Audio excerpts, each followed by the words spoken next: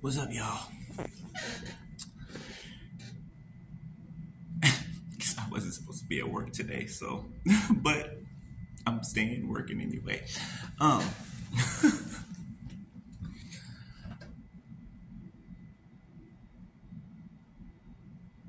who's anxious out there? Who's who's who's who is worrying, okay?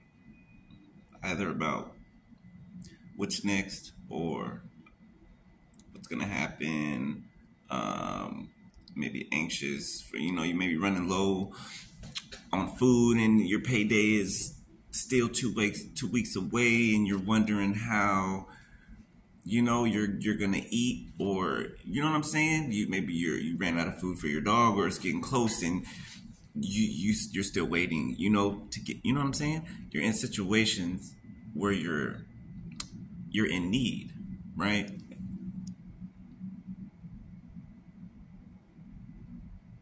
but the Lord says want for nothing right be anxious for nothing right make your request known unto him. Right? Matter of fact, I want y'all to listen to this right quick, okay? It's, it's just a piece of uh, one of my favorite parts in, in the Bible, uh, the Sermon on the Mount, right? Listen to a little piece of this. I'm, I'm gonna play it for you, okay? I'm watching. I'm watching, but it's for somebody, whoever, whoever's anxious right now. I heard that it was said to those of old, You shall not murder, and whomever murders will be liable to judgment. But I you, everyone who is angry with his brother will be liable. So if you are offering your gift at the altar, and there remember that your brother has something against you, leave your gift there before the altar and go. First, be reconciled to your brother, and then come and offer your gift. Therefore, I tell you, do not be anxious about your life, what you will eat, what you will drink, nor about your body, what you will put on. Is not life more than food? and the body more than clothing. Look at the birds of the air. They neither sow nor reap nor gather into barns, yet your heavenly Father feeds them. Not of more value? And which of you, by being anxious, can add a single hour to his span of life? Therefore, do not be anxious, saying, What shall we eat? What shall we drink?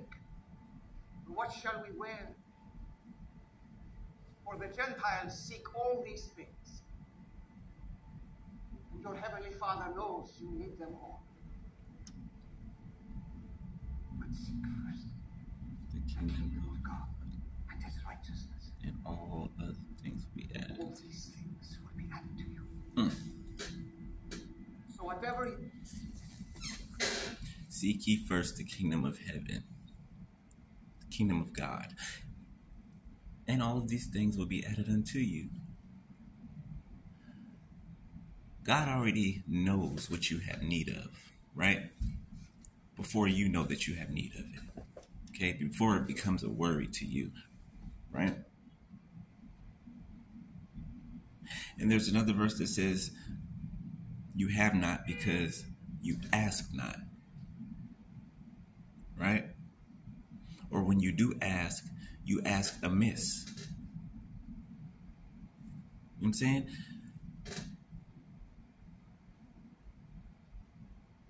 It's a map. Okay? Puzzle pieces. Right? In the back in the back of the King James King James version of the Bible, right? There is an index that has a list of problems, right? Whether you're anxious, whether um, you're you're you're in unforgiveness um you need forgiveness um you know what i'm saying? There's a list and then there's the verses to lead you into those things right? The verses are there to lead you out of those worries out of those anxieties right? So don't be anxious for anything, right? Remember, God knows what you need before you have need of it.